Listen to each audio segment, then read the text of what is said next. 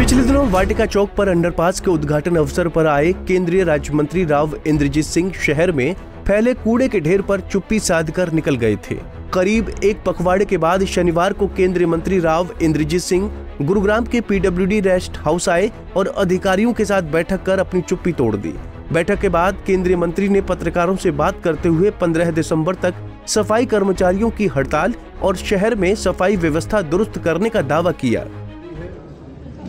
उसके विषय के अंदर, जो स्ट्राइक कर्मचारियों की हो रही है, उसके विषय के अंदर कंस्ट्रक्शन और डिमोलिशन वेस्ट की जो पूरी तौर के ऊपर सफ़ाई नहीं हो रही, उस विषय के अंदर।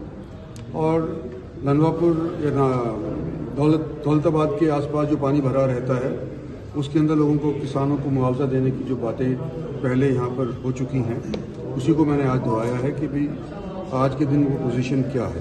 तो सब चीज़ को जल्दी से जल्दी करवाने के लिए आदेश दिए गए हैं और 15 दिसंबर तक कुछ ना कुछ इसके अंदर राहत लोगों को मिल जाएगी। इस तरह का आश्वासन एडमिनिस्ट्रेशन की तरफ़ से मुझे मिला है और 15 दिसंबर के करीब करीब मैं खुद एक और मीटिंग इसी विषय के अंदर रहने वाला हूँ कि प्रोग्रेस कितना इसकी सर शहर की सफ़ाई व्यवस्था कब तक दुरुस्त हो पाएगी? क्या कुछ पंद्रह पंद्रह बताया ना सब शहर की सफ़ाई कर्मचारियों की हड़ताल पंद्रह दिसंबर तक कुछ न कुछ आपको देखने को मिलेगा। राव, इंद्रजीत सिंह ने ये दावा भी किया कि वो 15 दिसंबर को दोबारा गुरुग्राम आएँगे और अधिकारियों के साथ बैठक कर समीक्षा करेंगे।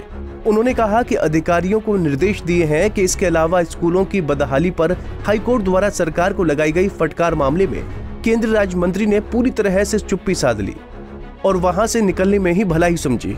बहरहाल मंत्री ने गुरुग्राम वासियों को 15 दिसंबर तक सफ़ाई कर्मचारियों की हड़ताल और शहर में सफ़ाई व्यवस्था दुरुस्त करने को लेकर आश्वासन दिया है। अब देखना ये होगा कि मंत्री के दावे कितने सही साबित होते हैं। Bureau report, Punjab Kesari TV. हमसे जुड़े रहने के लिए हमारे YouTube चैनल को सब्सक्राइब करें और नई वीडियो की नोटिफिकेशन के लिए बेल आइकॉन को दबाएँ। अगर आप ये वीडियो Facebook पर देख रहे हैं तो लाइक ज़रूर करें और ज़्यादा से ज़्यादा शेयर करें। धन्यवाद।